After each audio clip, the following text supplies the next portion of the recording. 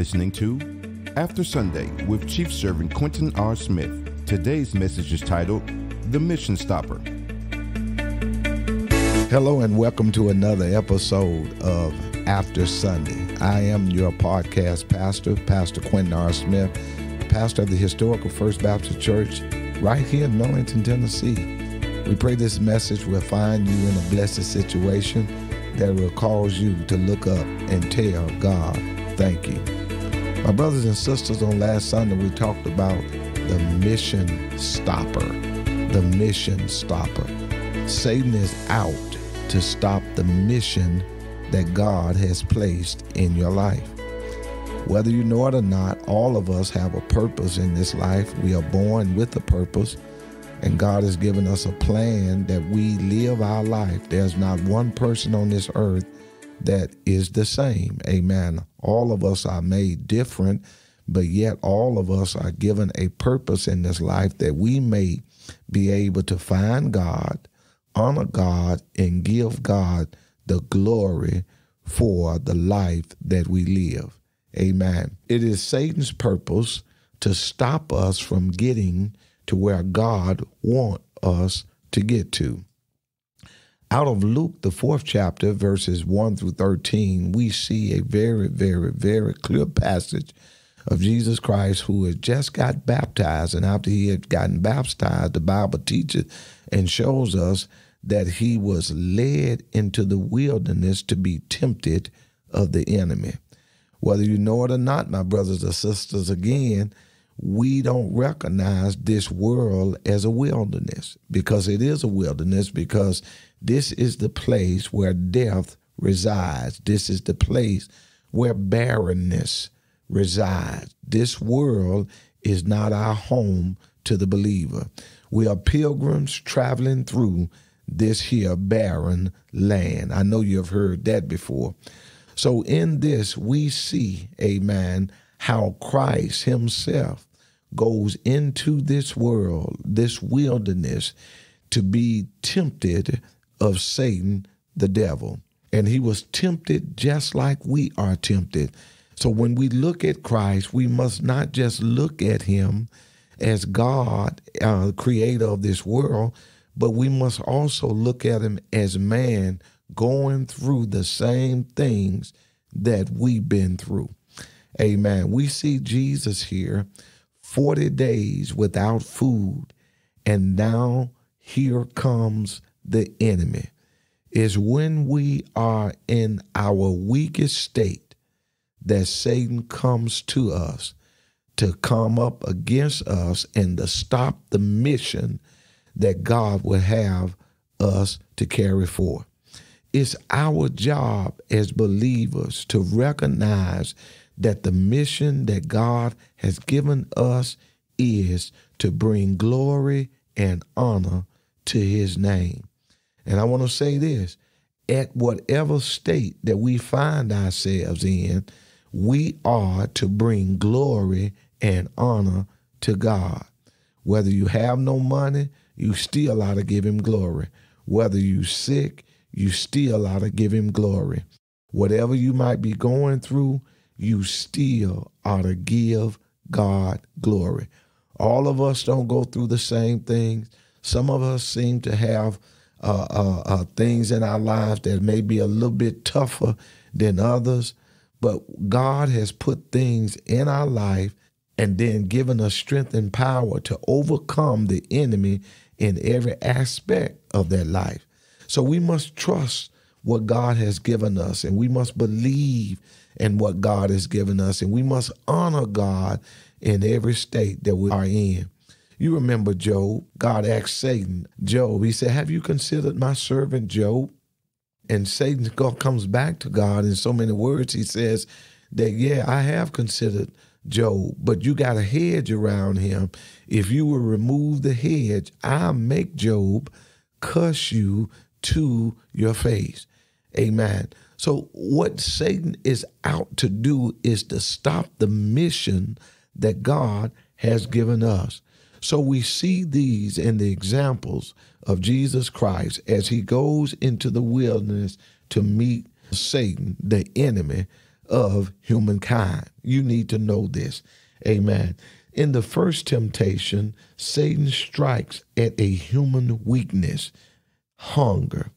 If thou be the Son of God, that's what he says. Amen. Command these stones to be made bread. This sounds like a reasonable, amen, and human request that commands to commands these stones to be made bread. And as as any man would would reply, amen, if he's hungry and how would you feel out not eating something for 40 days amen. And then all of a sudden amen the enemy come and said that you got power to turn stones into bread. How many of us would have already fainted amen on the third day fourth day or fifth day less known 40 day amen talking about amen turning stones into bread? What jesus here was depicting in our lives and one that we must understand is that he was trying to get Jesus to fall prey to have satisfaction without God. Hallelujah. What a great, what a great, what a great point to this here illustration is that what the enemy wants is that for you to get satisfied with the things of this world and not wait on God to be your ultimate satisfier. God should be the one that satisfies us, not bread, not appetite. We shouldn't even have an appetite for this world. We must understand that what God has brought to us, amen, is that desire must be for Him and Him only. We should never seek out salvation for our own that causes us to trip up in the life of a believer, that causes us to lose track of where God would want us to go, and that causes us to look at our own wills and ways. Satan wanted to get Jesus to look at his own wills. You remember when Jesus said that the Holy Spirit was going to come in and be a comforter to us, and then the Holy Spirit will not speak of himself? Well, Jesus was the same way. When Jesus was born into the world, amen, he never spoke of himself. Lord have mercy. Everything was of his Father in heaven. He tells his mom and dad, I must be about my Father's business. He tells the government, he says that uh, no man taketh my life. I lay it down by my own. And it's through God who is going to grant me the power to get me up. So here are the things that God puts in our play as believers and Christians is that we must know beyond the shadow of a doubt that the satisfaction of this life can only come from knowing Jesus Christ and Him crucified. I thank God for that. I thank God for all that He will ever do in the body of this faith. And Jesus comes back, He answers Satan. And this is what I also love about this passage is that if we are going to answer Satan or the enemy, we must answer him with the word of God. The only way that we can ward off Satan is belief and trust in the word of God. And that is the Rhema word, the word that has the power, that understands the message of the Logos, and that understands the message of the written word, which we call the Bible. We thank God for the power of the Word of God in which we believe. Because if we believe in the Word, we can stand on that Word, we can speak that Word, and we can live that Word. And we can honor that Word when we run into the enemies that face us in life. Amen. He talks to them by way of the word of God, and he tells Satan these. He said, Man shall not live by bread alone, but by every word that proceedeth out of the mouth of God. Here he mastered the flesh. And until we as true believers master our flesh, don't give in to what the flesh is claiming for or going after. Please don't feed into the flesh. I know our faith is on the inside of us.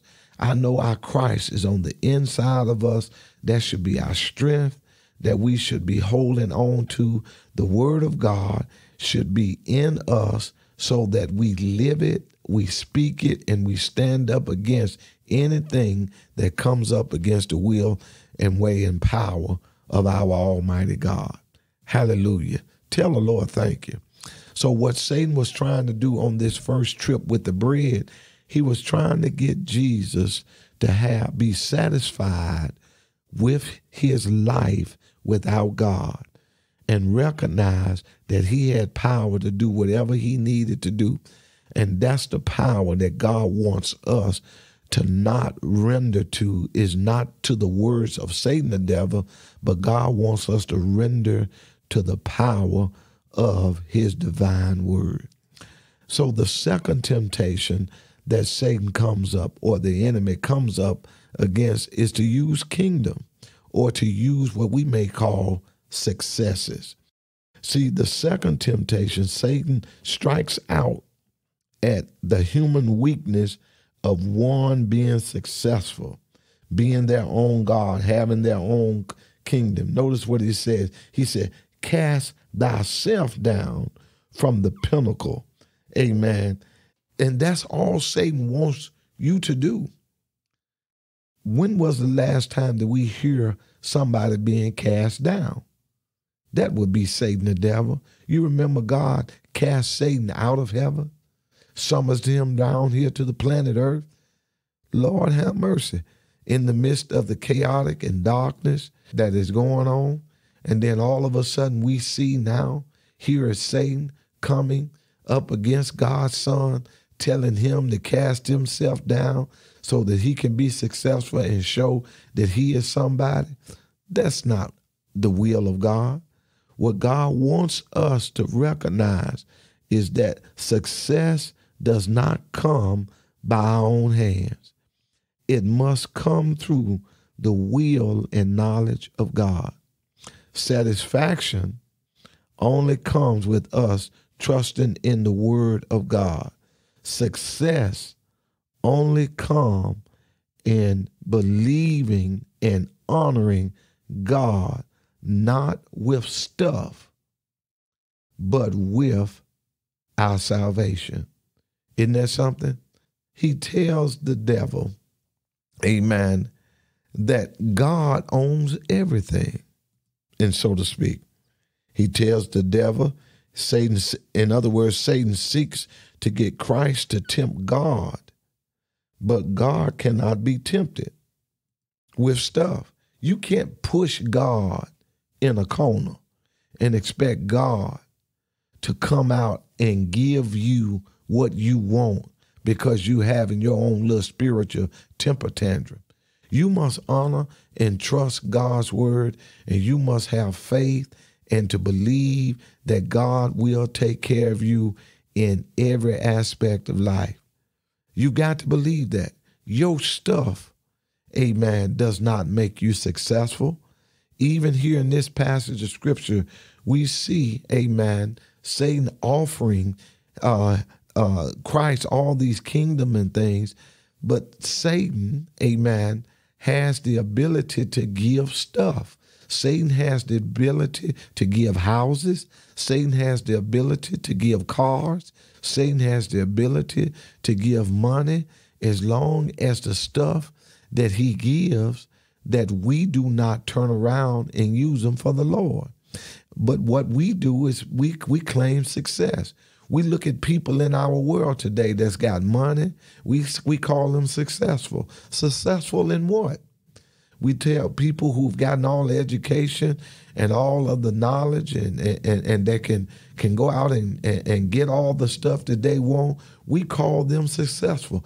What good is getting a brand new car or a brand new house or having a whole lot of money and you don't use any of those things to bring glory and honor to God?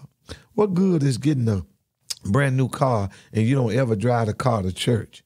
You don't ever drive the car to Bible study or you don't ever take anybody to church, or you don't ever help anybody along the way under your Christian rim.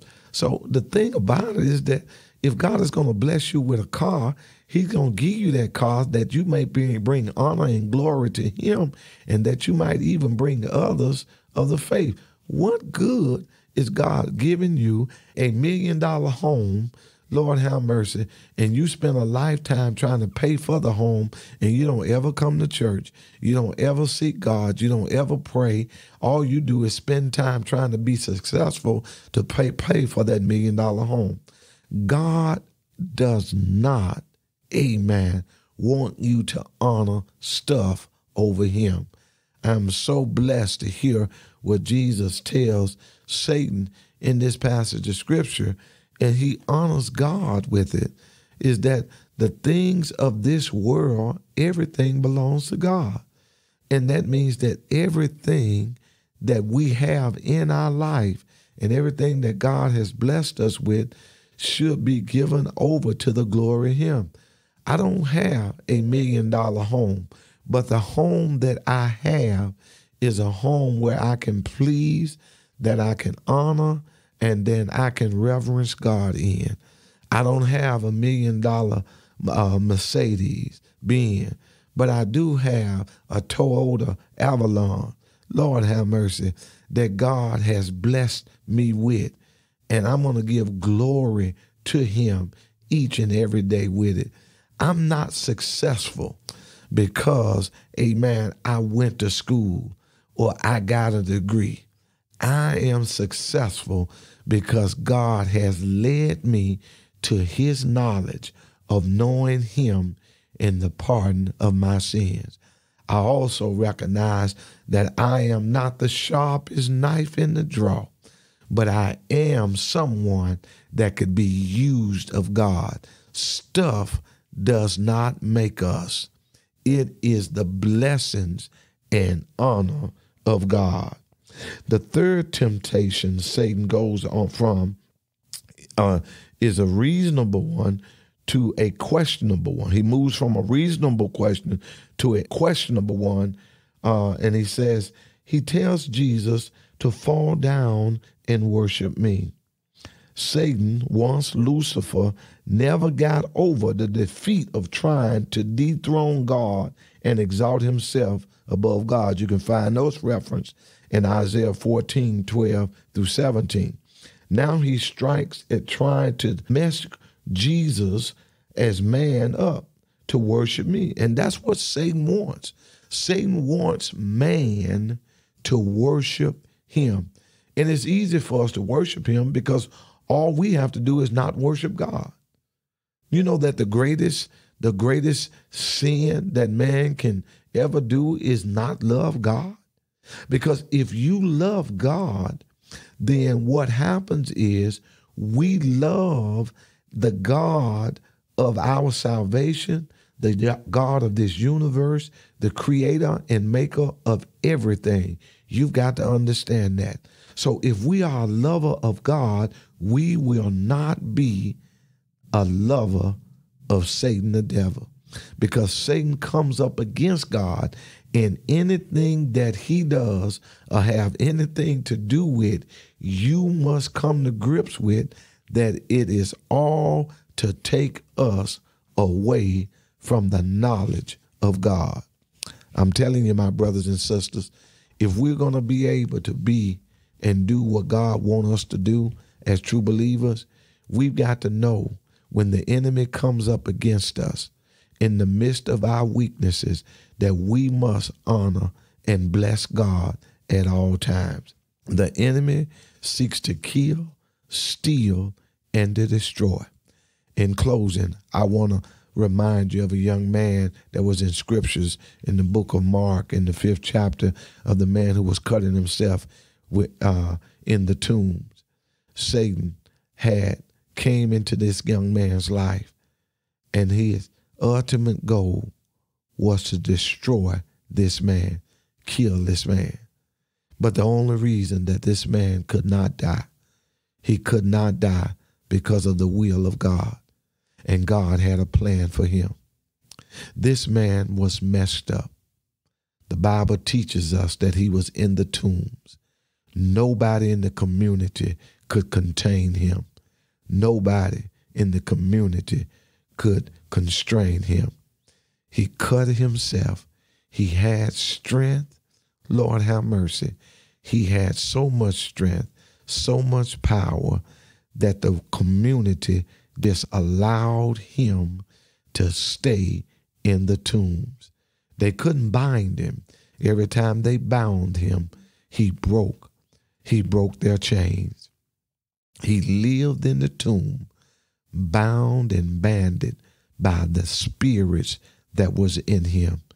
The Bible teaches us that he had more than one spirit to a point that his his name was legion.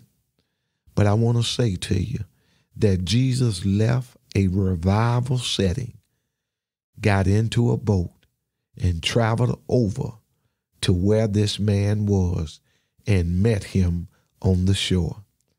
I want to say that the thing that Satan brings to us is going to have to meet Jesus one day.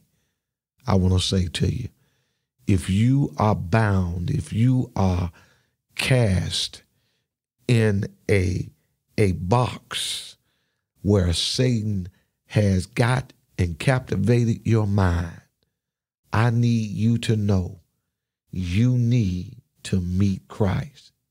The Bible teaches us that in this passage of scripture, that when the demons met Jesus, they had to back up because their authority over this man could not, could not stay anymore because they met the ultimate authority, and that is Jesus and his word. And Jesus told the demons, told the evil spirits to come out of him. And immediately they had to go. That's what the word of God does. Jesus is seen as the word that is made in the flesh. Jesus is seen as the written word that was spoken of in the Old Testament. And Jesus is seen as the spiritual word that we hold in our heart today. My brothers and sisters, get a hold to the knowledge of God. Understand what the true word of God is saying. And when the enemy comes against you, you know that the enemy must take flight, must leave you. In closing, I say this this man, after Christ cast out the spirits, he was delivered from the enemy. This man was resting, sitting at Jesus' feet. This man was reverencing Christ by sitting at his feet. This man was robed. He was clothed from head to toe. And he was rational. He was in his right mind. And he was ruled by the word of God. I want you to understand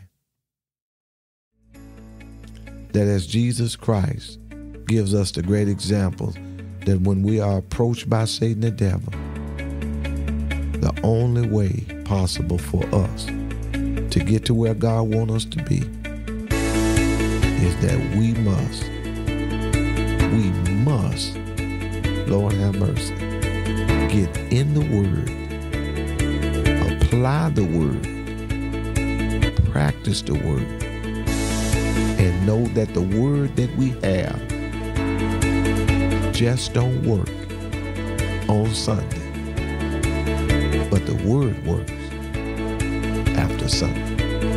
Be blessed. Thank you for listening to After Sunday.